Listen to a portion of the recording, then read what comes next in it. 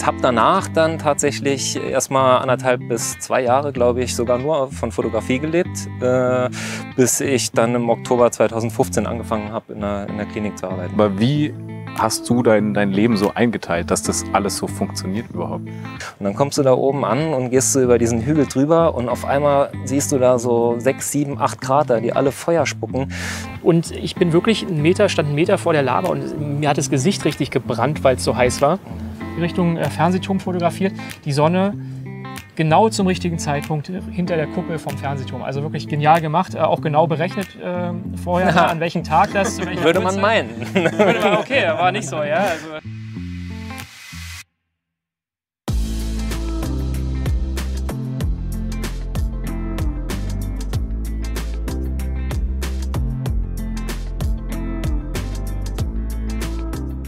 Der heutige Podcast wird präsentiert von Cozy Speed.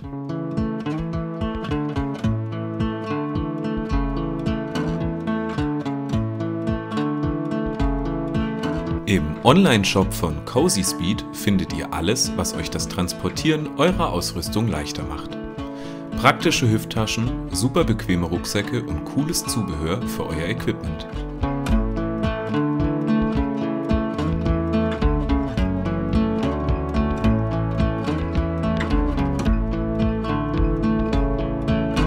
Mit dem Rabattcode im Fokus erhaltet ihr bis zu 10% Rabatt auf eure Bestellung. Den Link dazu findet ihr unten in der Videobeschreibung.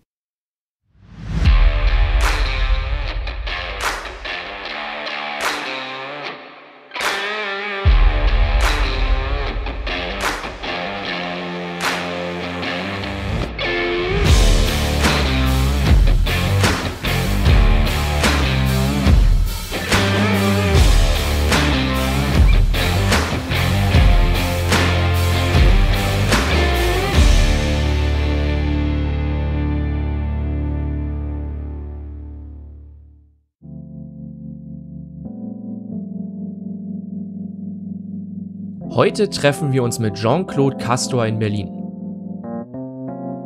Man kennt ihn auch unter dem Namen 030mm Photography oder auch einfach Claude oder JC. Mit seinen Berlin-Fotos ist er vor einigen Jahren bekannt geworden. Wenn man Berlin-Fotos gegoogelt hat, waren seine Bilder immer an erster Stelle.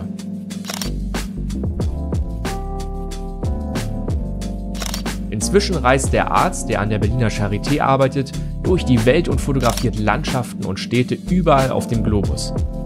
Heute kehrt er zu seinen Wurzeln zurück und fotografiert mit uns Berlin von einem Hochhaus aus zum Sonnenuntergang.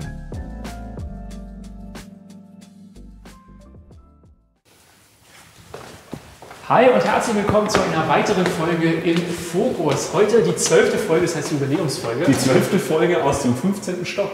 Ja, und es heißt, wir haben ein Jahr durchgehalten, Leute. Und wir sind heute mal wieder in Berlin und zwar auf einem Hochhaus. Wir haben nämlich einen ganz besonderen Gast heute und zwar Jean-Claude Castor. 030 mm Fotografie für die Leute, die ihn vielleicht unter dem Namen noch kennen. Wir sind ganz gespannt. Wir treffen ihn nämlich gleich. Wir sind hier, wie du schon gesagt hast, im 15. Stock. Hast du Höhenangst? Ein bisschen, ja. Sehr gut, beste Voraussetzung. Ich freue mich auf einen coolen Sonnenuntergang über den Dächern von Berlin. Los geht's. Auf geht's.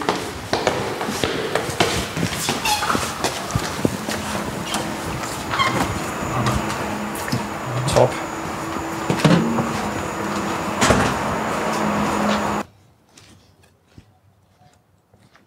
Ja, moin. Ja, moin. Ja, moin. Grüß dich, mein Lieber. Schön, dich zu sehen. Hi, hi. Hi. Schön, dass ihr da seid, dass ihr es geschafft habt. Schön, dass das klappt. Ja, auf jeden Fall. Kommt rein, kommt rein. Kommt rein. Kommt rein in die gute Kommt Stube. rein und rauf. Man muss ja sagen, Rooftop-Fotografie in Berlin hat ja schon ein bisschen was. Also ich glaube, die einzige Stadt, die geiler als Berlin dafür ist, ist vielleicht noch Frankfurt. Aber da hast du nicht so die Connections. Da habe ich leider keine Connections. ja, doch so ein bisschen über, über Umwege, aber wäre Ja. rein theoretisch auch noch was drin, glaube ich. Ja. Ja, Fürs nächste Mal. Ja, fürs nächste Mal. Wo, wo sind wir denn hier gerade? Erzähl mal kurz. ja, also wir sind hier an der Mediaspree. Ähm, gruppiert sich hier alles äh, quasi um das nördliche und südliche Ufer der Spree. Hier gibt's relativ viele neue, junge Firmen, ähm, auch viel gebaut worden in letzter Zeit. Aber abseits davon hast du halt eben auch noch so eine Geschichten wie hier unten äh, die Arena ähm, mit einem Badeschiff Segelschiff. Also alles äh, dreht sich hier um Arbeit und halt eben begleitend dazu auch nochmal Vergnügen. Ja, wir stehen hier quasi auf den Twin Towers. Ähm, ist ein Gebäudekomplex bestehend aus den zwei Türmen hier. Der eine, auf dem wir stehen und noch das Parallelgebäude, alles in derselben Bauweise. Ähm, und wir gucken jetzt quasi von hier aus äh, Richtung Zentrum mit dem Alexanderplatz in der Richtung.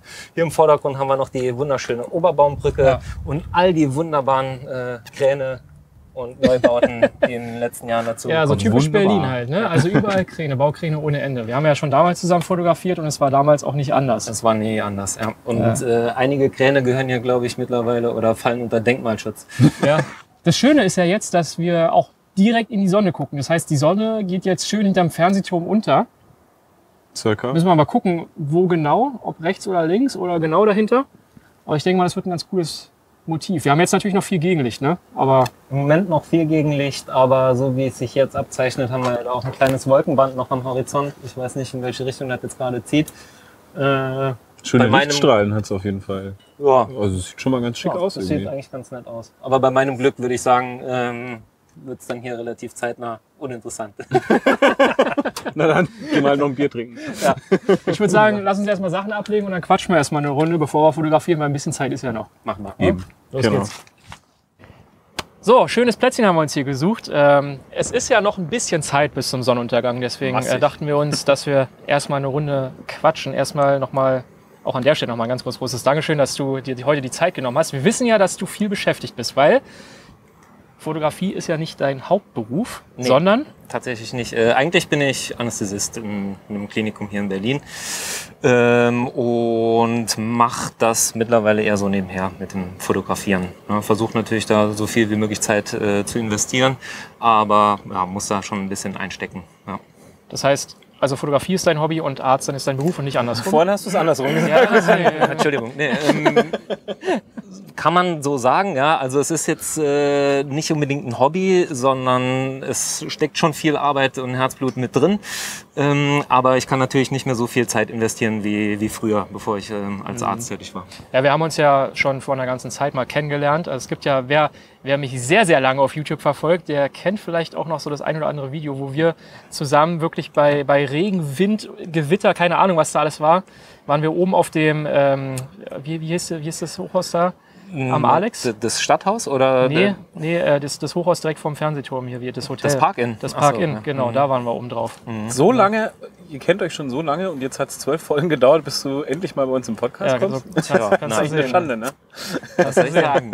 Ja. Ja, ja naja, aber trotzdem. Also es ist äh, tatsächlich, äh, ja, damals war es, hast du noch nicht als, als Anästhesist im Krankenhaus gehabt. Damals warst du noch Student, glaube ich, ne? Tatsächlich, ja, Student, genau. ja. Ja.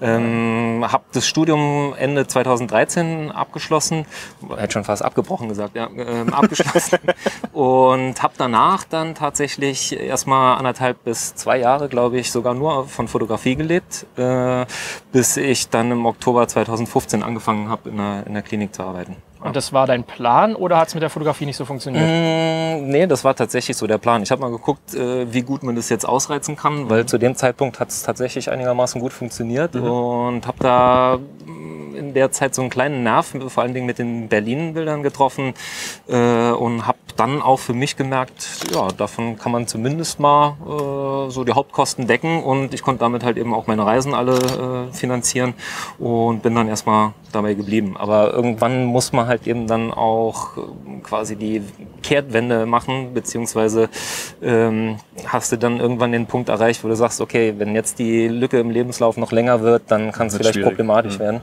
Äh, und dann habe ich mich Anfang 2015 äh, an einigen Kliniken hier beworben und habe dann letztendlich hier an einem Haus die Stelle gekriegt. Ja. Naja, gerade auch wenn man so Spezialgebiet dann Berlin-Fotos, das ist ja auch irgendwie endlich. Also du hast ja, Tatsächlich, wir haben ja. ja vorhin auch schon ein bisschen gequatscht, hast ja auch gesagt, so es hat sich jetzt auch schon so ein bisschen abgenutzt. Das ist eigentlich so, wir sind jetzt hier quasi eine Reise in die Vergangenheit, weil eigentlich bist du gar nicht mehr so aktiv in Berlin, oder? Tatsächlich nicht mehr, ja. Also es hat sehr stark nachgelassen. Ähm, letztes Jahr, vorletztes Jahr auch aus privaten Gründen unter anderem habe ich das dann wirklich äh, dolle bremsen müssen und habe kaum noch was in Berlin gemacht. Ich habe dann den Hauptfokus auf die Reisen gelegt. Äh, Das war halt eben auch der Zeitraum oder das war die die Fahren verloren. Zeitspanne? Äh, genau, das waren halt eben so die größeren äh, Zeitspannen, wo ich dann auch ähm, mal wegfahren konnte und habe dann eher so den Fokus auf Reisefotografie, Landschaft und so weiter Mhm. und so fort gelegt. Und ähm, Architektur dann tatsächlich auch nur, wenn ich mal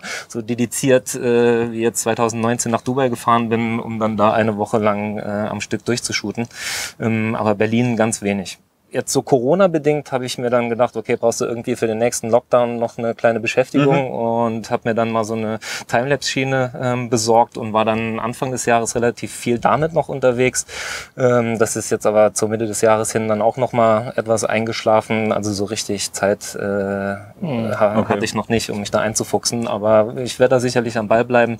Ähm, eröffnet auch noch mal ein paar spannende äh, Möglichkeiten. Ja, und du hast ja vor allem die Connections zu den ganzen Locations nach wie vor. Also du hast ja auch ja. heute Mhm. das hier klar gemacht. Das ist auch nicht selbstverständlich, dass man mal auf so einen Wolkenkratzer raufkommt. Ne? Ja, äh, überhaupt nicht. Also gerade hier in Berlin ist es gar nicht so einfach. Ähm, die Immobiliengesellschaften, ja, also man muss schon sehr viel Arbeit reinstecken, ähm, immer am Ball bleiben, auch viel mit denen kommunizieren und auch mal so kleine Angebote machen, ähm, damit man da überhaupt äh, irgendwas ermöglicht kriegt. Also Ähm, Angebote im Sinne von Deals. So Genau, einfach, dass ich dann aufs Dach kann und dafür kriegen die äh, eine kleine Selektion der, der, Der Bilder, besten, ja. besten Bilder genau, aus der Reihe.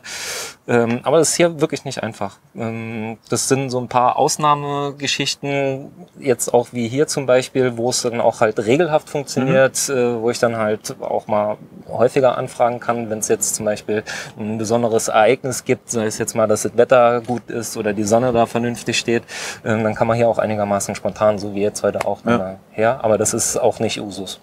Das glaube ich. Das heißt, du hast dir das damals alles aufgebaut in, in, in Zeitspanne so 2013, 2014 so in der Richtung war das Genau, ungefähr. Ne? ja. Da, da haben wir ja auch viel zusammen fotografiert hier, da waren wir viel zusammen unterwegs, auch noch mit ein paar anderen Leuten, die jetzt ja auch nicht mehr so viel machen, Präsent sind, beziehungsweise ja. auch nicht mehr so präsent sind. Mhm. Ja. Aber mich würde mal interessieren, weil du jetzt meintest, ähm, in der Zeitspanne hattest du, konntest du davon leben.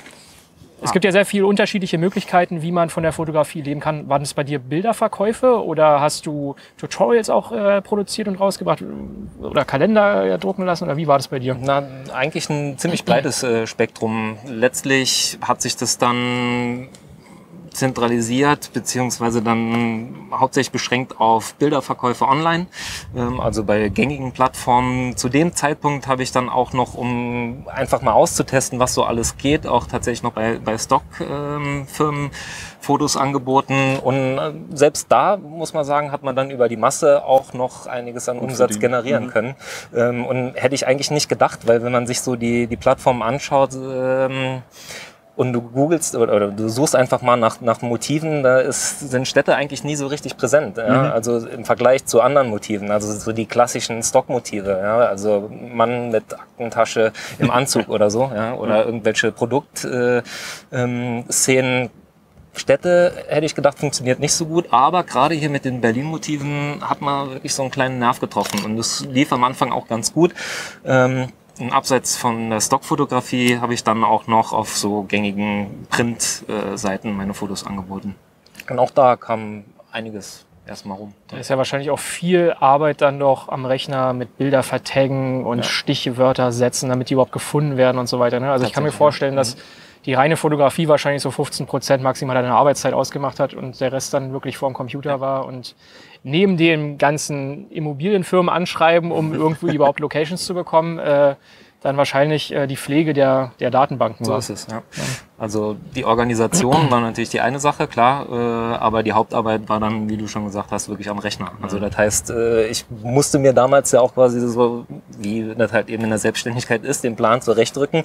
Und da hast du halt eben auch mal acht, neun, zehn Stunden am Rechner gehockt, hast deine Bilddatenbanken gepflegt, hast getaggt ähm, und letztlich dann die Sachen auch noch hochladen müssen. Das waren ja dann wirklich im Schwung immer pro Shooting äh, 30, 40 Bilder, die du dann irgendwo angeboten hast. Und auf jeder Seite musstest du die dann nochmal einzeln verschlagworten. Also es hat schon ziemlich viel Zeit gefressen. Ne? Naja, nicht schlecht. Also, ja. da muss man auch die Muße für haben. Ich habe das selber mal ausprobiert. Also, so mit Stock, äh, Stockfotografie ist es, äh, es war nie so meins, irgendwie so, so ewig vor dem Rechner zu sitzen. Aber ähm, Respekt dafür, dass das, also ich meine, es hat ja auch geholfen. Man hat ja gesehen, äh, also wenn man Berlin äh, Fotos gegoogelt hat, dann war Jean-Claude immer wirklich auf Seite 1 ganz vorne mit dabei. Und ähm, ja, also das war so die, die damalige Zeit. Dann, dann gab es, wie gesagt, so, da hast du dich wahrscheinlich auch ein bisschen mehr auf die Arbeit dann konzentriert. Ne? Mhm. Und dann kam irgendwann auch, dass du dich für Landschaften interessiert hast, dass du mehr, mehr dann auch gereist bist. Also hast ja damals auch schon so ein bisschen gemacht, aber es ist ja dann immer mehr geworden. Ne? Dass du jetzt auch außerhalb, wenn man sich jetzt so dein Portfolio auf der Seite anguckt, da ist ja durch die Welt weg alles mit dabei. Also gereist äh, bin ich schon immer viel. Das war auch so bei uns in der Familie eigentlich Usus, dass wir äh, regelmäßig weggefahren sind. Vor allen Dingen halt eben an exotischere Ziele. Nicht so hier Deutschland äh, irgendwo da nach Bayern fahren, sondern tatsächlich ähm, Übersee häufig. Und das ist bei mir auch so ein bisschen hängen geblieben und habe das dann natürlich auch noch weiter zelebriert. So, ja. Und äh, das hat dann letztlich auch den, den größten Anteil an, am Portfolio ausgemacht. Ja. Irgendwann ist Berlin dann, wie gesagt, schon so ein bisschen eingeschlafen und habe mir dann die freie Zeit, die mir noch blieb, bin ich natürlich dann auch äh, in Urlaub gefahren, weggefahren und habe dann das äh, Schöne mit dem Nützlichen verbunden und habe die Locations dann auch häufig mal so ein bisschen danach gewählt, ähm, äh, wo man schön fotografieren kann, ne? Genau. Okay. Du hast ja auch eine Freundin. Mhm. Ja. Macht die das alles mit? Äh, so Standardfrage, ne? Also ich meine, bei, bei den einen ist es ja so, bei den anderen anders. Äh, Tatsächlich, die macht es sehr gut mit, ja, ähm, obwohl ich manchmal vielleicht etwas über die Stränge schlage und das doch zu sehr ausreize. Ähm, aber ich glaube, wir haben mittlerweile so einen ganz guten Deal gefunden und es klappt mittlerweile äh, ganz gut, dass wir da jetzt nicht zu viel den Fokus auf Fotografieren legen. Ich muss mich dann natürlich immer ein bisschen zügeln und bremsen, aber ich glaube, da haben wir jetzt einen ganz guten Mix und sie ist damit äh, zumindest in, bei den letzten beiden Reisen ganz gut Okay, vor, ihr, vor allem, ihr, habt ja, ja, ihr habt ja beide eine Freundin. Jetzt muss ich mal fragen, Ja. wie sieht denn so ein Deal aus mit einer Freundin? Also wie muss man es denn machen, damit eine Freundin am Ende auch äh, sagt, sie wird nicht vernachlässigt? So, und wie kann man trotzdem viele Fotos machen? Also, äh, jetzt, jetzt kommen ja die Experten über ein Spiel. Ne? Also, Naja, ja, man kann es nur falsch machen äh, letztendlich. kommt drauf an, wie verständnisvoll deine Freundin ist. Also für viele Sachen hat sie sehr viel Verständnis. Ähm, wofür sie kein Verständnis hat, ist dann irgendwie stundenlang in der Kälte rumzuhocken und äh, ich warte auf das gute Licht und sie friert sich einen Ast ab. Ähm, das klappt nicht mehr so gut, ja, aber so eine Situation versuche ich dann zu vermeiden, indem ich dann Alleine an, genau an solchen Tagen irgendwie alleine unterwegs bin. Ähm, oder wir machen einfach mal den Deal, ich gehe morgens knipsen zum Sonnenaufgang und abends äh, machen wir dann halt eben was gemeinsam Ja. ohne Knipsen. Also so in die Richtung kann man sich da Okay. eigentlich ganz gut arrangieren. Dann, Also bei euch beiden schließt sich quasi das schon so ein bisschen aus. Weil bei uns beiden ist es zum Beispiel so, dass meine Freundin halt dann eigentlich auch fast immer dabei ist. Ist es ist scheißegal, ob es kalt ist oder nicht. Mhm. Also sie ist dann schon immer irgendwie so auch fotografiert dann selber vielleicht auch ein bisschen. du bist ja aber wahrscheinlich sowieso auch häufiger in so kühleren Regionen unterwegs, wa? Das Ab und an. Kommt ja bei uns ja gut. nicht ja. so häufig vor tatsächlich, Mhm. also außer wenn man mal in Dolomiten oder so abhängt. Ähm, aber so mit Selbstknipsen oder Filmen, obwohl sie ja auch aus der Branche da kommt. Ich habe immer versucht, sie da so ein bisschen zu lenken und zu pushen. Ähm, aber kann ich natürlich auch nachvollziehen, wenn sie dann sagt nach einem Drehtag, dass sie da Jetzt keine, keine ja. Lust mehr drauf Mhm. hat. Ja, also ist schon okay. Wenn ich ab und zu mal Videomaterial produziere, dann ähm, ist sie immerhin ähm, so nett und schneidet es dann auch mal. Ah ja, okay, ne? das ist Also cool, ja. Cool. Also es ist schon gut vereinbar. ja, denke ich schon. Ähm, so generell der Spagat zwischen, ich mache, also zwischen deinem Beruf, der als Anästhesist ja jetzt augenscheinlich erstmal ziemlich stressig ist, könnte ich mir vorstellen. Das heißt, deine ganze freie Zeit hast du dann quasi noch aufzuteilen zwischen deinem Privatleben, deiner Freundin und dann auch noch, du willst ja irgendwie fotografieren gehen, du bist ja auch viel unterwegs Mhm. tatsächlich. Ähm, wir haben off-camera schon ein bisschen gesprochen, aber wie hast du dein, dein Leben so eingeteilt, dass das alles so funktioniert überhaupt?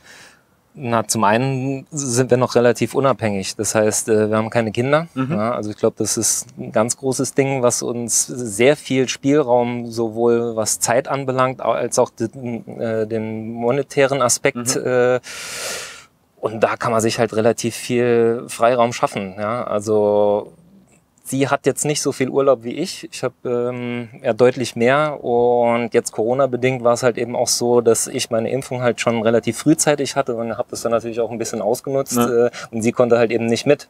Ja, äh, ich habe mir dann die Ziele auch danach ausgesucht, wo man mit der Impfung hin konnte. Ähm, aber ja, das zum einen. Ähm, Und zum anderen, wir machen, versuchen zumindest so viel Urlaub zusammen zu machen, wie es geht. Mhm. Ähm, funktioniert natürlich nicht immer, weil meine, meine Urlaubspläne sind immer schon ein Jahr im Voraus äh, quasi schon fix. Ja. Und äh, bei ihr ist das dann halt nicht ganz so safe, dass sie dann auch an den, an Wirklich den, weg Be- kann. genau, an Okay. den Daten weg kann. Ähm, ansonsten, ja, also ich versuche halt wirklich die den Urlaub so maximal zu nutzen, wie es geht. Also ich versuche dann auch wirklich immer wegzufahren. Mhm. Ja, das ist natürlich auch etwas stressig, weil es ist ja auch mal schön, einfach mal eine Woche hier in Berlin zu bleiben Zu und chillen, nicht immer ja. nur den ganzen Stress zu haben, ähm, irgendwo durch die Weltgeschichte zu ähm, huschen. Ja. Aber ich habe halt eben da tatsächlich mehr Spaß dran, als zu Hause zu hocken. Ja. Das kann man wohl einem auch nicht verdenken, glaube ich. ähm, Wie hast du das denn jetzt? Also du hast ja schon gerade angesprochen, du bist ja relativ früh geimpft worden, klar, als Krankenhausmitarbeiter, logisch. Ähm, du warst ja zum Beispiel dann auf Island. Mhm. Und zwar zu genau der Zeit, wo der Vulkan ausgebrochen ist. Da haben wir ja ein bisschen was gemeinsam sogar. Ich war ja dann auch dort. Du hast mich sogar noch gefragt, ob ich mitkomme. Ich hab gesagt, ja, das hätten wir mal besser nicht. zusammen gemacht. Ja. Und Zwei Wochen später, ja, ich kann doch. Äh, ja. das war, also ich glaube, du bist gefahren. Ich glaube, einen Tag später bin ich angekommen oder irgendwie so. Ja, das, war, das so. war total bekloppt eigentlich. Ne? Aber ähm, du hast ja da auch Vulkanfotos gemacht. Ähm, musstest ja auch nicht in Quarantäne durch die Impfung, was ja auch gut war. Ähm, du warst ja dann auch mit einer der ersten, glaube ich, so aus Deutschland, die dort waren. Ne? Also ich glaube, zumindest nicht viele vor uns waren Und da. vor allem warst du der Erste, der einen richtig geilen Vordergrund plus Vulkan fotografiert hat. Wir blenden das Foto natürlich an dieser Stelle ein. Oh ja, Natürlich. auf jeden Fall. Nett, dass du das sagst. Ja, ähm, das war tatsächlich so ein Lucky Coincidence, muss ich ganz ehrlich sagen. Also die Reise hatte ich äh, äh, schon weit im Voraus gebucht. Ach, tatsächlich? Ja, ich, Geil. wusste, ich wusste zwar, dass da was am Rumoren ist, aber keiner wusste natürlich, wann und wo der Vulkan jetzt letztlich ausbricht. Ähm, und eine Woche oder zwei Wochen bevor ich gefahren bin, genau, zwei Wochen hieß es dann, ja, jetzt ist es soweit. Perfekt. Und das hat natürlich super gepasst. Wie Ähm, geil, ja. ich muss aber auch sagen, ich war noch nie auf Island. Und Ach so, du warst da noch nee, gar nicht. Ach so. Ich habe Das ist versucht. natürlich für den ersten Besuch natürlich ein absoluter Ja, ja, Knaller. aber ne? hallo. Also.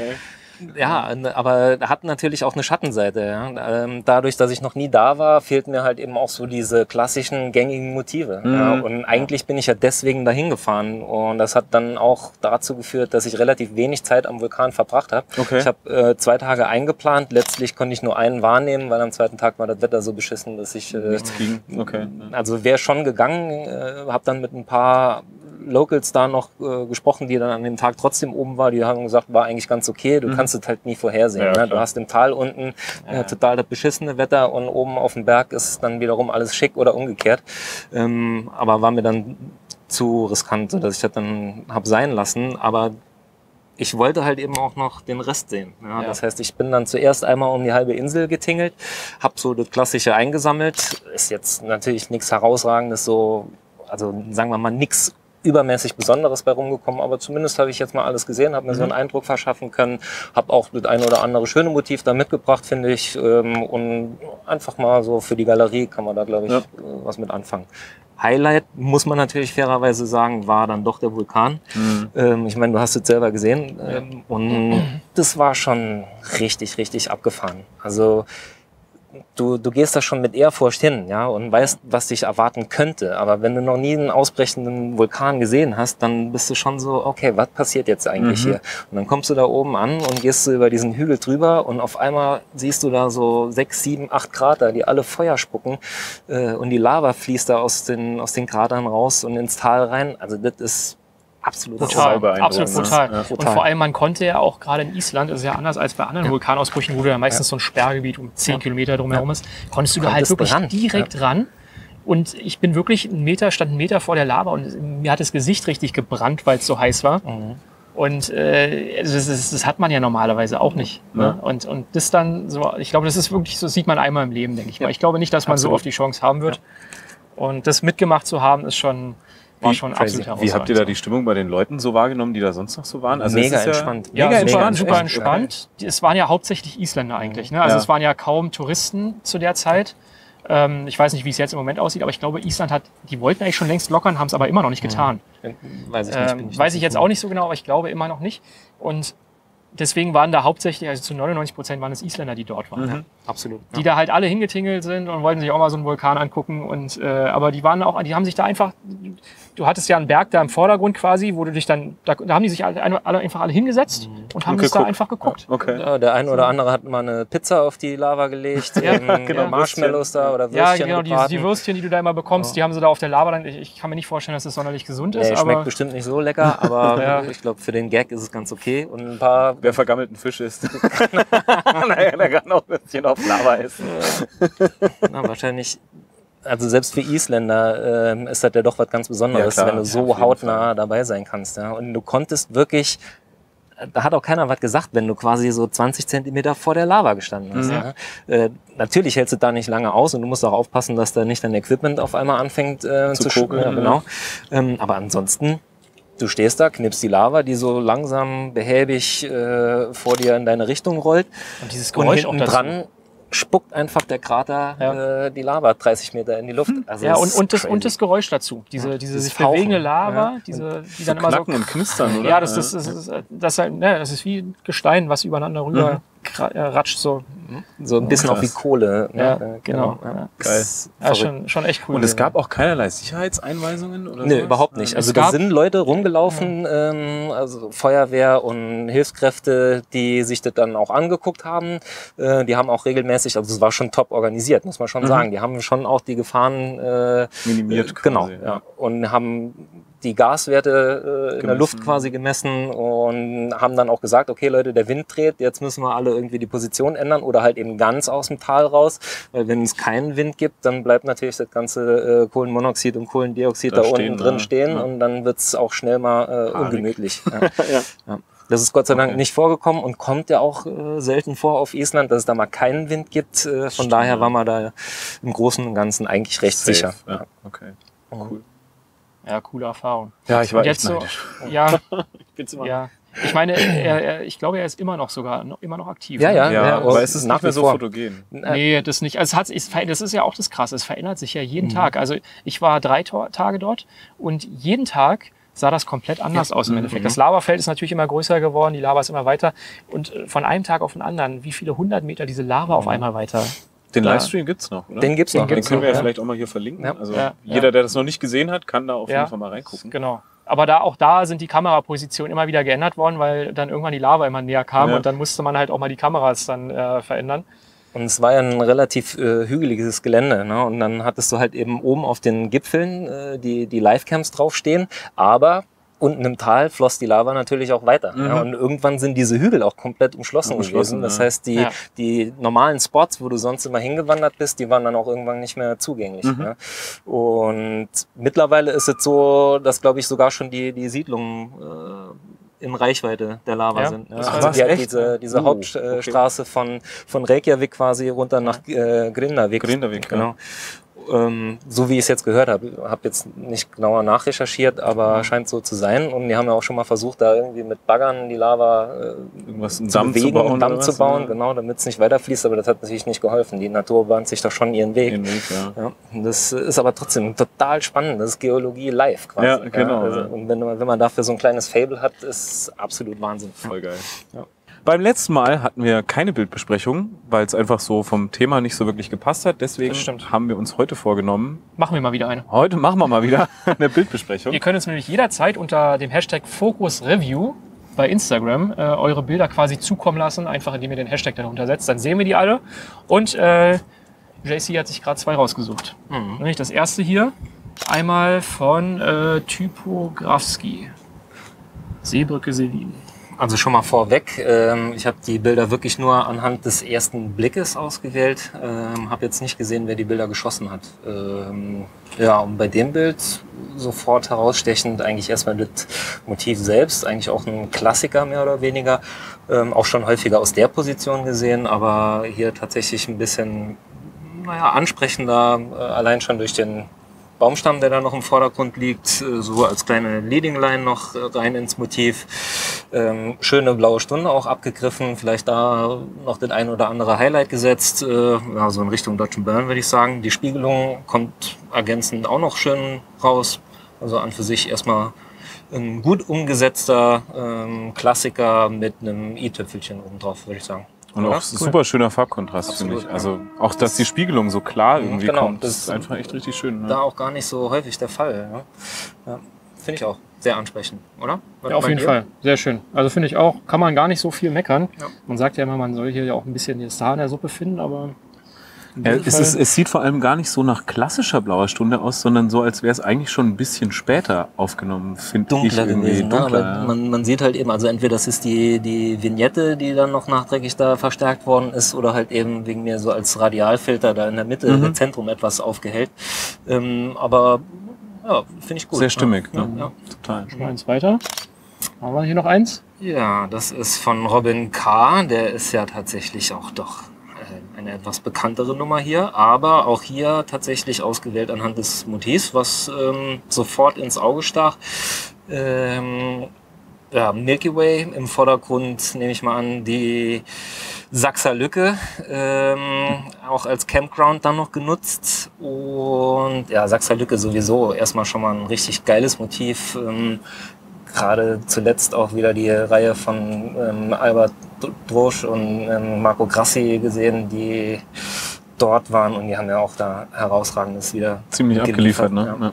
fand ich auch. Und sicherlich auch auf meiner Bucketlist irgendwann mal, mal gucken, wann ich da mal Mhm. vorbeikomme. Ähm, muss ehrlicherweise sagen, dass ich jetzt nicht so der ultimative Astro-Fan bin und auch so Milky Way-Fotografie, weil für mich im Hintergrund automatisch immer, ja, okay, ist in den meisten Fällen Composing. So, ja, das ist klar nochmal ein Thema für sich und äh, kann Abende füllen, die Thematik. Ähm, aber hier finde ich, ist es tatsächlich sehr, sehr gut umgesetzt. Also es ist dezent. Ähm, Sehr authentisch ja, irgendwie, absolut, ne? Ja. Also wenn ich es jetzt nicht besser wüsste und ich weiß auch, ich weiß auch, ich weiß es auch nicht besser, aber es sieht aus wie aus einem Guss. So. Mhm. Also als sei es ein Foto.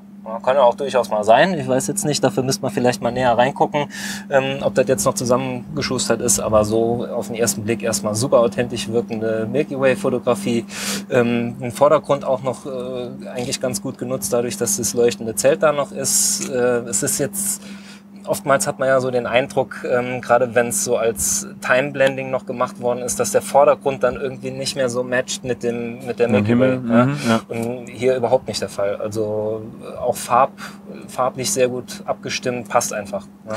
Das wäre aber, also die Farbe wäre tatsächlich auch der einzige Kritikpunkt, den ich hätte, dass es mir insgesamt irgendwie zu, Zu gelb rot. ist oder Ja, zu rot. Ja. Okay, vielleicht weiß ich jetzt nicht, ob das noch Lichtverschmutzung im Hintergrund ist. Das oder sieht sehr stark nach Lichtverschmutzung aus, ja. ich war noch nie in der Gegend, deswegen kann ich dazu jetzt nichts wüsste sagen. ich jetzt auch nicht. Aber insgesamt vom Weißabgleich hätte ich es auch ein bisschen. So ein bisschen mehr ins Nachtblaue irgendwie Ja. gezogen. Ne? Ja, ja. Ja, aber ich glaube, das ist jetzt auch wie, Meckern auf hohem genau, Niveau, wie wir ja. gesagt Das haben, so Geschmackssache. Ja. Härchen in der Suppe. Genau. Genau. Nee, sehr Sieht- schöne Bilder. Qualitativ auch äh, sehr hochwertig aus. Also äh, soweit man das jetzt hier auf Instagram auch beurteilen kann. Genau, aber das ich meine, mit dazu, ja. von Herrn K. sind wir jetzt auch eigentlich nichts anderes gewohnt, oder? Das stimmt. Also Leute, falls ihr Bock habt, in der nächsten Folge vielleicht schon dabei zu sein, dann einfach, wie gesagt, den Hashtag Focus Review benutzen und dann seid ihr mit in der Auswahl dabei. Dabei. An dieser Stelle ähm, können wir auch mal erwähnen übrigens, es gibt ja für unsere äh, Patreon-Mitglieder auch natürlich wieder einen kleinen Bonus oder mehrere kleine Stimmt. Boni. Sehr schönen Bonus Ja. sogar. Haben wir ganz vergessen, diese Folge. Ja, ne? Müssen, ja. wir, müssen wir noch darauf hinweisen. Ihr könnt uns nämlich auf Patreon unterstützen, entweder mit drei, mit sechs oder mit neun Euro pro Monat. Und äh, je nachdem, wie viel ihr äh, spenden wollt, desto mehr Boni bekommt ihr natürlich auch als kleines Dankeschön. Ähm, ihr könnt entweder drei Euro sagen, ne? das könnt ihr einfach so machen, um uns zu unterstützen, damit wir hier so eine Folge produzieren können. Für sechs Euro, also Silbermitglied, ähm, bekommt ihr jetzt dann im Nachgang schon ein kleines Tutorial, was äh, Jean-Claude noch aufnehmen wird. Ähm, oder? Machst du doch, ne? Klar. Na klar. Haben wir noch gar nicht drüber. Aber doch, Doch, haben wir kurz Doch. mal angerissen. Aber Aber da- da, waren wir noch bei, so bei anderen Thematiken. Genau. Ja. Achso, ja. ja, ja, also, okay, ja, ähm, du, du wirst ein Weil die, die Alternative war doch der, das besondere Geschenk noch von... ja, das ist für unsere 9 Euro Mitglieder. Ah, für die Für unsere Gold Patreons kriegt ihr nämlich was? Ein Gizzo-Rucksack. Ähm, ich weiß nicht, ob ihr ähm, das so ein bisschen verfolgt habt, aber vor, vor kurzem kam die Traveler Series raus. Ähm, und da hat mir Gizzo was Schönes geschickt, was ich jetzt gerne euch weiter vermachen würde. Und zwar dann für die Gold-Members sozusagen. Verlosen wir diesen Rucksack. Und ja, Da könnt ihr dann einfach, wenn ihr als Goldmember mit dabei seid, seid ihr automatisch in der Verlosung mit dabei und äh, könnt den dann entsprechend vielleicht gewinnen. Also, wenn ihr Bock auf einen Fotorucksack habt, dann einfach mal schnell Goldmember werden. Genau. Werbung Ende. Wenn wir schon bei Gizzo sind, ähm, du hast ja mit Gizzo auch zu tun, ne? Tatsächlich, Äh, ja. Was, Also, was genau machst du da? Eine der wenigen ähm, Kooperationen, die ich pflege. War aber tatsächlich ein sehr, sehr gutes Verhältnis. Ähm, ja, also man kann sagen, dass so ein loses Ambassador-Verhältnis Cool. besteht. Also ich bin Ja. nicht offiziell im äh, Kanon da quasi aufgenommen. Ja. Ähm, hatten die, glaube ich, sogar schon mal vor, äh, aber bisher noch nicht umgesetzt. Ist ja auch nicht weiter dramatisch. Ich habe da jetzt erstmal kein Problem damit. Aber ist eigentlich eine gute Zusammenarbeit. Ja, cool. Schön. Und die besteht jetzt tatsächlich äh, auch schon seit seitdem ich fotografiere. Also ich habe angefangen eigentlich immer mit Manfrotto. Ähm, die gehören ja, wie gesagt, zu Gizzo. Und irgendwann bin ich dann gewechselt, weil ich doch etwas robusteres Material gebraucht habe. Ja. Und da ist Gizzo halt wirklich On top, ne? top-notch. Ja. finde ich. Ja, Cool. und Seither Sehr schön. benutze ich die. Ja, cool. Also Leute, wie gesagt, Link unten zu Patreon ist in der Videobeschreibung. An dieser Stelle auch nochmal vielen, vielen Dank an unsere überhaupt Patreons, die uns schon seit geraumer Zeit unterstützen. Wir sind euch sehr, seit, sehr dankbar seit, dafür. nee, seit Ende letzten Jahres schon. Ja, da, das haben wir das, stimmt, da haben wir ja. das angefangen. Also es ist jetzt tatsächlich schon äh, sieben oder acht Monate, dass ihr uns da supportet. Teilweise sind die Leute auch seit diesen sieben oder acht Monaten äh, durchgängig, Durchgängig dabei. dabei, ne? Ja. Gerade an die Leute ein ganz, ganz großes Dankeschön und auch an die Leute, die äh, entweder gesponsert haben oder auch jetzt neu dazukommen. Äh, ihr unterstützt uns da sehr, weil so eine Folge hier zu äh, produzieren kostet halt auch immer nicht nur Zeit, sondern auch Geld. Und ähm, von daher Ihr sorgt dafür, dass wir das weitermachen können. ja, ihr sorgt dafür, dass wir zumindest nicht mit so einem ganz krassen Minus hier rausgehen. Ja, das stimmt. es, ist, es ist immer noch ein Minusgeschäft, aber wir machen es halt gerne. So. Wir lernen Genau. neue Leute kennen. Ich mache das ja auch nicht gratis hier. Ja, Ja, eben. Du warst eigentlich der teuerste Posten ja. heute. Zwei Bier. Immer, immer diese Leute, die fünfstellig verlangen hier für so einen Abend. Haben wir eigentlich deine Getränke gezahlt wenigstens? Ja. Ja. Ja, okay. Was sind denn so für dich die nächsten Ziele? Hast du schon, äh, wenn du jetzt sagst, du musst immer ein, ein Jahr im Voraus Urlaub planen, dann hast du ja mit Sicherheit schon dein äh, nächstes Jahr oder zumindest das, das, das zweite Halbjahr dieses Jahr schon verplant. Ist tatsächlich schon äh, verplant. Ja. Also die, die Destinationen, die wähle ich jetzt selten irgendwie schon ein Jahr im Voraus. Das machen wir dann mehr oder weniger spontan. Wir überlegen dann zwar grob, okay, was würde jetzt passen, so jahreszeitenmäßig, äh, wo könnte man da hinfahren, Nordhalbkugel, Südhalbkugel, was auch immer. Ähm, aber ansonsten lasse ich das erstmal so spontan auf mich zukommen. Es sei denn, wir haben sowas geplant, was wir jetzt eigentlich 2020 machen wollten, nach Kanada fahren, aber das mussten wir dann Corona-bedingt halt eben einstampfen. Ähm, und für das zweite Halbjahr, wir fahren jetzt, okay, das ist jetzt nicht ganz so crazy, aber fahren wir am Mittwoch für ein paar Tage in die Rhön, an die Auch Rhön, schön. zur Rhön, Ja. wie auch immer. Ähm, und einfach da ein bisschen abhängen, ein bisschen wandern, Gegend erkunden, ein paar Städte vielleicht noch gucken. Würzburg ist jetzt vielleicht gerade nicht so the place to be, I don't ja, know. stimmt, ja. Äh, aber da in der Gegend mal schauen. Und als nächst größere Geschichte machen wir dann im September ähm, eine Reise wahrscheinlich nach Kreta.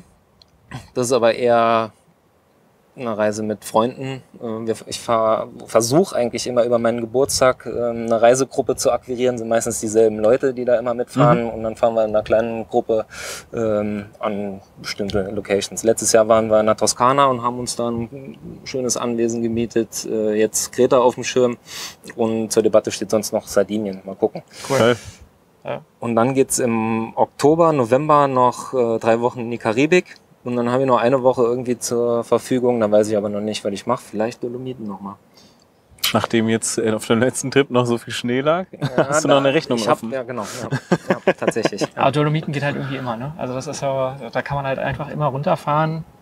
Ich versuche es auch einmal im Jahr mittlerweile einzuplanen. Also zumindest einmal im Jahr nach Italien, weil Ja. ich habe doch ein bisschen Narren dran gefressen. Ja, das ist einfach zu Überall schön. schön da, ne? Ja. Absolut. Aber auch nicht nur zum Fotografieren, auch das Essen, Genau, die Leute, also das- das ist halt einfach alles. Irgendwie, Ja. Das passt irgendwie alles da unten. Das ist die Lebensart, das ja. ist einfach nochmal Ja.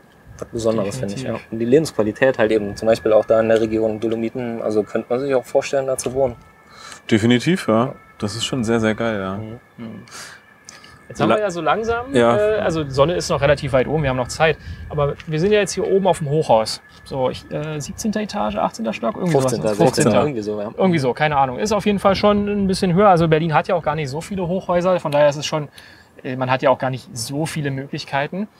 Aber ähm, grundsätzlich, wie, wie kann, kannst du ja mal so ein bisschen beschreiben, wie gehst du denn äh, vor, wenn du jetzt, ähm, sage ich mal, neues Hochhaus quasi Mhm. äh, für dich entdeckst? So, okay, du schreibst jetzt die Immobilienfirma an.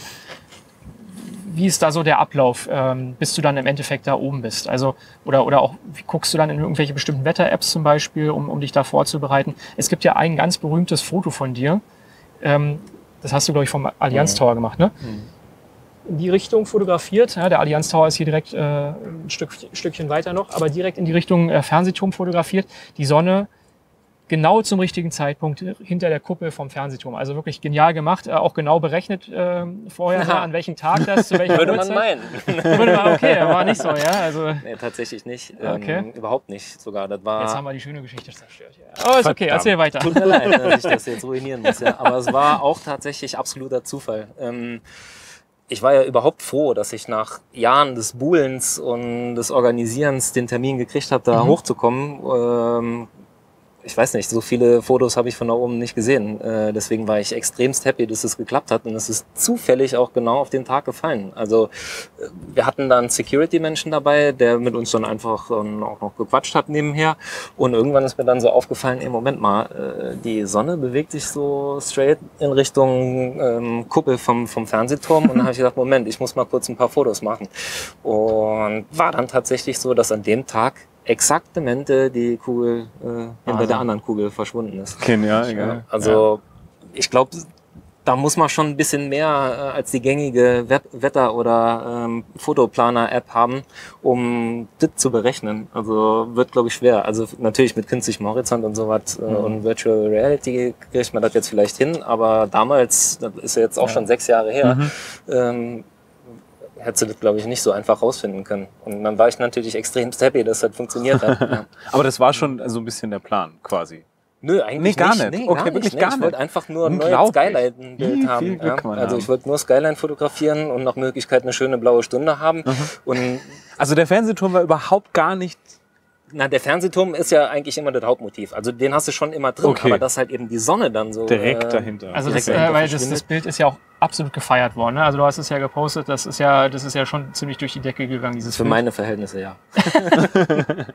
Ja, der Facebook-Algorithmus äh, ist ja, Ja. schwierig, schwieriges Thema. Anderes Thema, ja. Äh, ganz, äh, also wirklich, wir, wir hatten ja auch mal zusammen äh, eine Facebook-Seite mal, die hieß I Love Berlin. Das haben wir dann auch wieder sein lassen, weil einfach Facebook überhaupt nicht mehr funktioniert hat. Mhm. Aber ähm, ja, also das, das Bild ist schon gut durch die Decke gegangen bei dir. Das hat man, schon, hat man schon gesehen. Ja. Aber ja, umso schöner, dass es dann Zufall war. Ja. ja, man muss aber auch fairerweise sagen, also es wäre fast gar nicht dazu gekommen, weil ähm, am Vormittag und Mittag hat's halt eben geschifft ohne Ende und ich habe schon mit dem Kollegen da am Telefon abgemacht, okay, ich komme gar nicht. Ähm, bin dann aber trotzdem noch hingefahren, habe es mir mal noch mal angeguckt und war dann auch noch so, als ich oben angekommen bin, dass fiese Wolken da waren und eigentlich gar kein Licht durchgekommen ist. Okay. Äh, dann hat sich aber abgezeichnet, hast du halt eben so ein ganz schmales Band am Horizont gesehen und hast so gemerkt, okay, Wind geht in die richtige Richtung.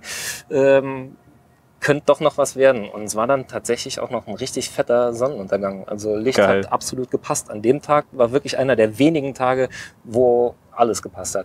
Ja, Also es muss sich dann auch manchmal einfach fügen. Ne? ja, Ja. also manchmal Geil. muss man halt wirklich Glück haben. Ja. Ist es für dich so das Foto, wo du sagst, oh, da bin ich am stolzesten drauf? Oder gibt es ein Foto, wo du sagst, das ist mein absolutes Lieblingsbild, weil es äh, vom, von der Planung her besonders toll war, weil es von der Stimmung besonders toll war oder was auch immer? Gibt's da, hast du so so ein Bild, wo du sagst, das ist mein Bild, wo ich, wo ich äh, wenn, wenn ich gefragt werde, das Ja. würde ich sofort zeigen? Puh, da gibt's sicherlich ein paar, aber so eins, das besonders heraussticht, wo ich sagen würde, das ist mein absoluter Favorite, kann jetzt eigentlich keins benennen. Sicherlich das gehört dazu ähm, oder die Top 5, aber eins meiner Lieblingsfotos ist von, von Azoren. Ähm, eine so, ist eigentlich ein gängiges Motiv, aber da hat halt eben auch alles gepasst. Da war Nebel, da waren Wolken, da war Licht, äh, da war quasi, also eigentlich nur noch das Einhorn gefehlt, das einen Regenbogen kotzt oder so. ähm, dann wäre es halt eben ultimativ Geil. gewesen. Aber das fand ich halt eben auch vom Motiv her äh, Mhm. extrem ansprechend. Und das hängt auch bei mir relativ groß in, in der Wohnung. Okay, cool. Ist es jetzt hast du bist du so ein bisschen weg von dieser Cityscape-Fotografie, weil jetzt ich will jetzt niemanden Cityscape irgendwie. Für mich ist es irgendwie so, weil es so begrenzt ist von den Möglichkeiten, auch so ein bisschen langweilig. Vielleicht aber, weil ich mich auch mit dem Thema noch nie wirklich befasst habe. Ähm, so augenscheinlich sehe ich diese Bilder und denke mir, ja, okay, geil. Aber alles, was man anders machen kann, ist vielleicht die Stimmung. Ist das so? Na, ich glaube, da musst du halt wirklich auch so ein kleines Fable für haben. Ja? Äh, Zum einen verbinden wir ja auch mit der Stadt relativ viel. Mhm. Ja? Das heißt, wenn du dann den Fernsehturm irgendwie in schönem Licht siehst, dann ist sofort so, oh, ja, Ja, okay, ja. Ähm, freust du dich halt eben. Und ist ja auch tatsächlich das äh, herausragendste Gebäude hier quasi in der Stadt. Ja. Ähm, und für mich hat's halt den Reiz verloren, weil meine Art der Fotografie vielleicht jetzt so ein bisschen verbraucht ist dahingehend. Ja, also alles, was ich hier so gemacht habe, äh, klar, kann ich alles nochmal machen, kann vielleicht auch nochmal ein bisschen besser, ein bisschen schöner machen, aber es hat ein Stück weit einen Reiz zumindest für mich verloren. Aber, Aber- das heißt jetzt natürlich nicht, dass das für andere nicht trotzdem weiterhin noch extrem reizvoll sein kann. Was, was heißt dann aber in dem Fall für dich besser machen? Heißt das, du könntest noch besseres Licht erwischen oder du könntest... Zum Beispiel, Okay. genau. Also einfach nochmal bessere Situationen abgreifen oder einfach technisch noch ein bisschen weiter rausholen. Okay. Ähm, sei es jetzt, weil ein neues Objektiv oder eine neue Kamera dazu Mhm. kam, ähm, aber das ist eigentlich nur Spielerei dann. Eigentlich hat man es ja schon, ne? Okay, okay. Wie bist du denn eigentlich darauf gekommen, wenn du Berlin fotografierst, das dann von oben zu machen?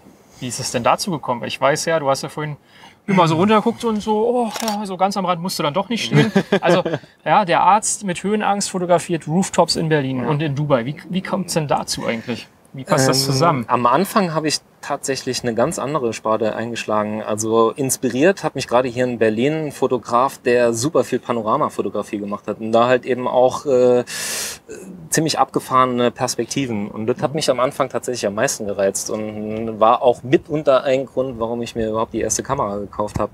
Das mit den Cityscapes von oben kam dann erst ein bisschen später, so ein Jahr später. Ähm, und das lag daran, ich habe einmal so ein Foto gesehen, das also ein ganz ikonisches Motiv hier aus Berlin, Mhm. ähm, aus einer Position, die kennt auch jeder. Wenn du ihm das Bild zeigst, sagt er dir sofort, welche Hausnummer in welcher Straße Okay. und welche Etage. Ach so, Ähm, ja, das Bild.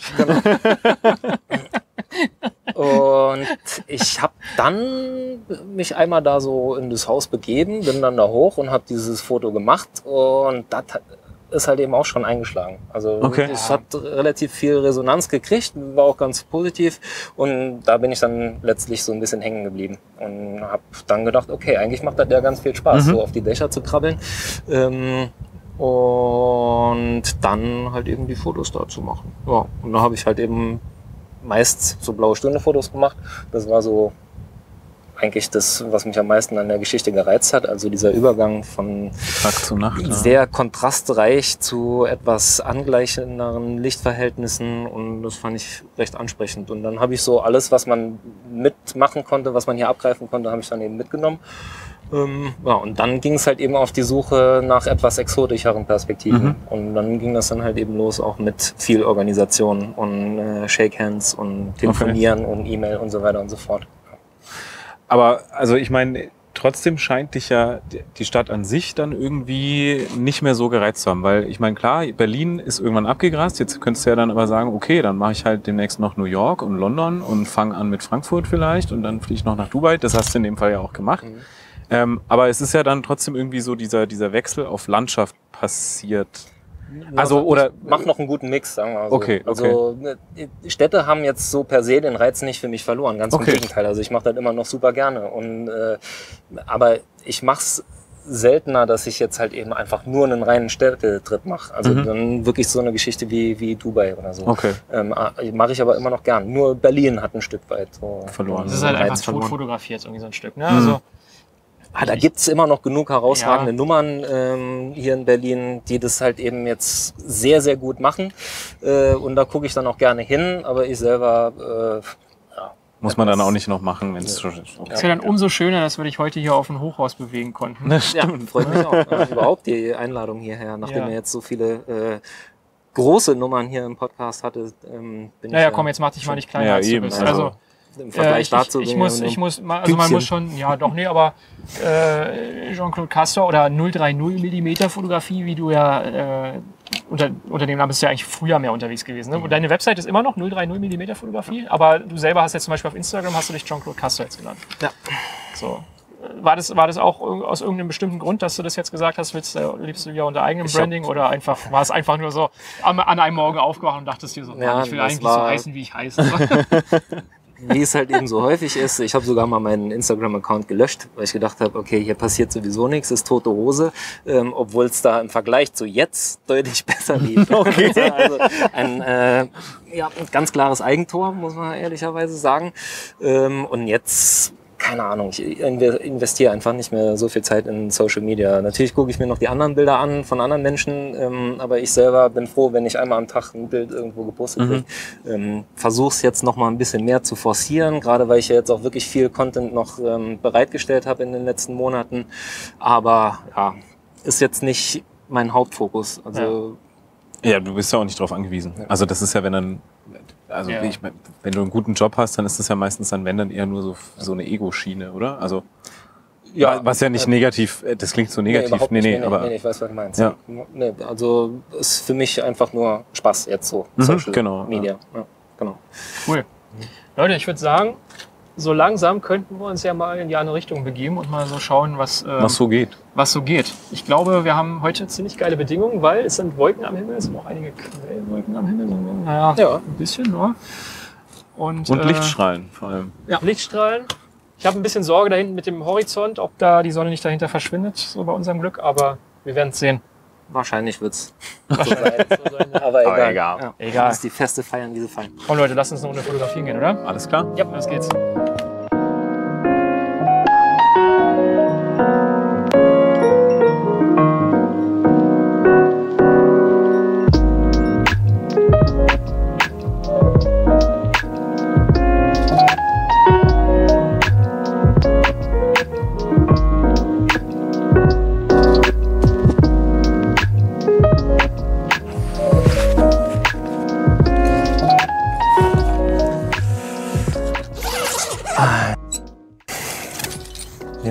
Erstmal das gute Schmuckstück äh, Nikon D850. Habe ich jetzt schon passenderweise mit dem ähm, Nikon 70 bis 200. Ist hier eigentlich, äh, würde ich sagen, das Objektiv der Wahl. Ähm, Wir sind hier, was so, naja, die Komposition anbelangt, äh, etwas eingeschränkter. Man hat hier aber eigentlich viel Spielraum, wenn man mit der, mit der Brennweite etwas variiert. Das kann man hier ganz gut machen. Würde sich rein theoretisch auch noch für, für Panoramaaufnahmen rentieren. Ähm, und wir versuchen jetzt quasi noch das letzte Licht einzufangen, weil die Sonne scheint sich hinter ein wundervolles Wolkenband zu schieben. Ähm, wie gesagt, spiele jetzt einfach noch mal ein bisschen mit der Brennweite. Wahrscheinlich wird es so auf die 70 mm hinauslaufen. Jawohl. Bekommen wir quasi die Sonne noch im letzten Licht mit rein. Ich werde jetzt hier so eine Blende zwischen 11 und 13 wählen, dann vielleicht sogar 14, damit wir noch ein bisschen Sonnenstern bekommen. Und dann gucken wir einfach mal, was hier passiert. Ich werde eine Bracket-Aufnahme machen, einfach, dass ich hier auch wirklich den vollen Dynamik, äh, Dynamikumfang mit einkassieren kann. Und später in der Nachbearbeitung kann ich das dann noch alles so anpassen, wie ich es brauche.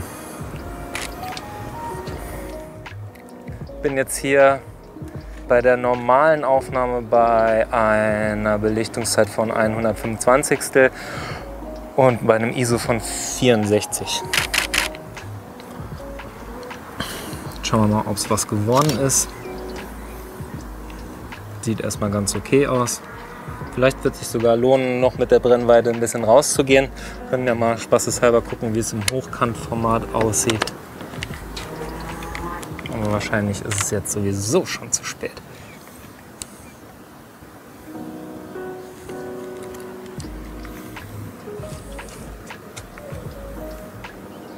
hier habe ich jetzt tatsächlich versucht, dann den Fernsehturm so ein bisschen nach ähm, Drittelregel mit einzubauen. Äh, hat jetzt natürlich mit der Sonne so nicht ganz gepasst. Die ist vielleicht etwas zu weit links in den oberen Bildrand gerutscht. Äh, hätte man vielleicht noch ein bisschen mehr variieren müssen. Dann auch mit der Brennweite vielleicht auf äh, 50 mm runter. Dann hätte es vielleicht etwas besser hingehauen. Ähm, und habe jetzt quasi noch als führende Linie den Steg unten im Bild mit drin, der so etwas äh, in Richtung Oberbaumbrücke zeigt. Man könnte jetzt natürlich auch noch abwarten, bis da eine schöne U-Bahn noch über die Oberbaumbrücke fährt. Ähm, richtig interessant wird es dann auch eigentlich später nochmal zur blauen Stunde. Äh, dann kann man quasi noch etwas Light Trails mit einsammeln. Und ja, wenn ich jetzt den Abend hier weiter verbringe, dann würde ich mich einfach rantasten, verschiedene Kompositionen mit unterschiedlichen Brennweiten äh, austesten. Vielleicht auch mal ein paar Close-ups einfach auf dem Fernsehturm mit einem Ausschnitt von der Oberbaumbrücke mit drin oder einfach die Oberbaumbrücke selbst als Close-up mit äh, drauf und einer vorbeiziehenden U-Bahn bietet sich hier eigentlich auch immer an.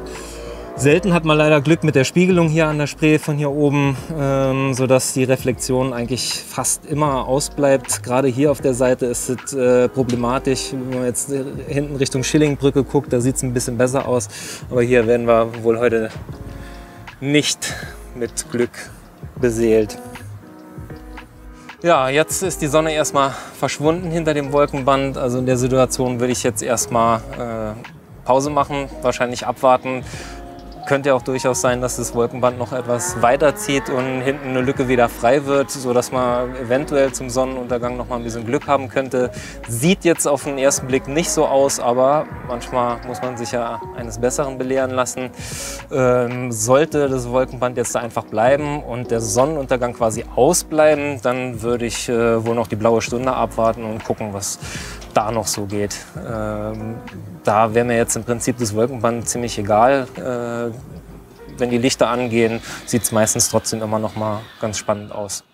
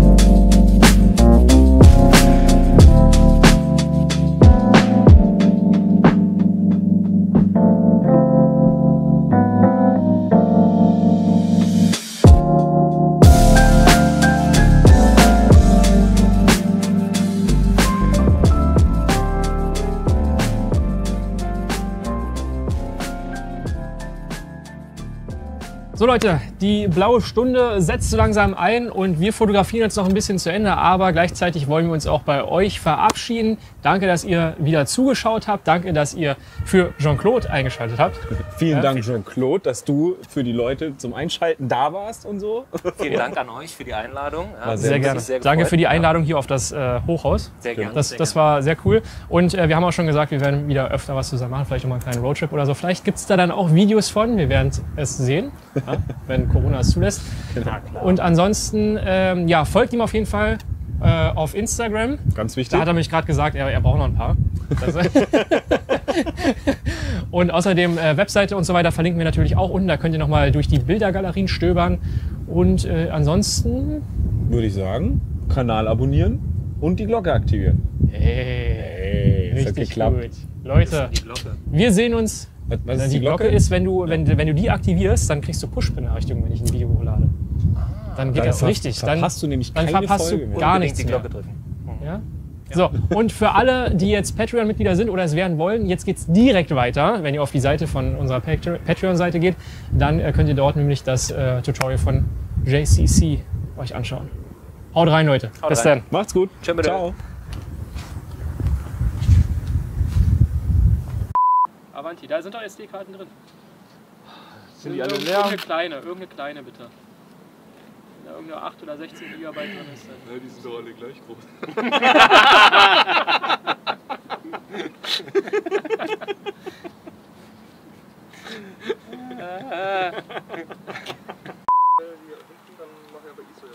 Du sollst ja auch nicht da die Blende ändern, weil die ändert man ja hier. Guck.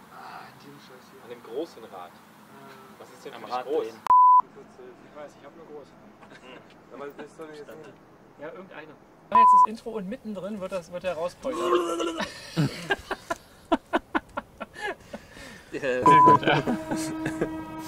Hey.